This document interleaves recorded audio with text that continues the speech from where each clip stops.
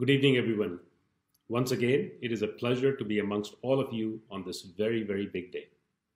This is indeed the grand finale of sorts, and I'm sure all of you would be eager to know the results of these tightly contested awards.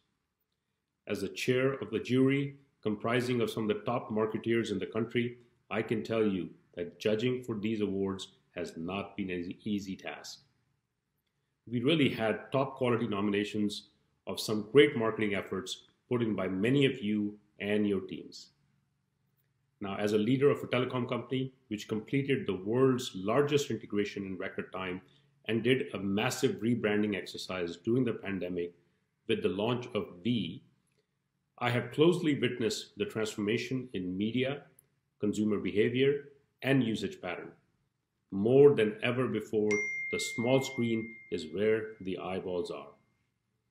With attention spans getting shorter, we are seeing a lot of innovation in mobile marketing space as, as brands fight for audience attention with sharply targeted campaigns based on data and analytics. And so I applaud each of you and every nominee for a very interesting and some path breaking work done by each and every one of you. Now, while judging these awards, I found some very, very compelling and successful case studies. But as for the awards rule, we could only pick a few winners gold, silver, and bronze. So, of hundreds of nominations and several hours of jury discussion, we finally picked about 120 plus winners across categories. I congratulate each and every winner tonight.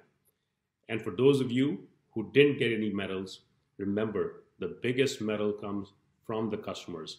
And if your campaign won or was nominated here, you're already a winner. I would also like to congratulate Dr. Anurag Batra, who has successfully put together this show to recognize brands and the people behind them. And I wish him luck for the next year. Thank you very much and have a wonderful evening.